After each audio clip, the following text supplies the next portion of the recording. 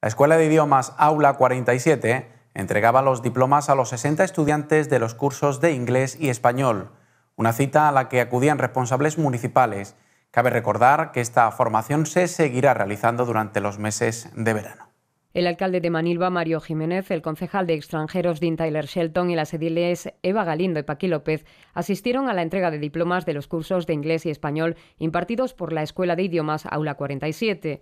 El responsable de residentes extranjeros, organizador de estos cursos, quiso agradecer a las profesoras Olga Ruiz e Isa Reina su labor y profesionalidad, además de a los protagonistas, los alumnos y alumnas que han conseguido sus objetivos. Han sido un total de 60 alumnos los que han formado parte de este curso, muy demandado en nuestra localidad. Por último, recordar que durante el verano se seguirán realizando cursos de español e inglés intensivos, tal y como se ha anunciado en los medios de comunicación locales.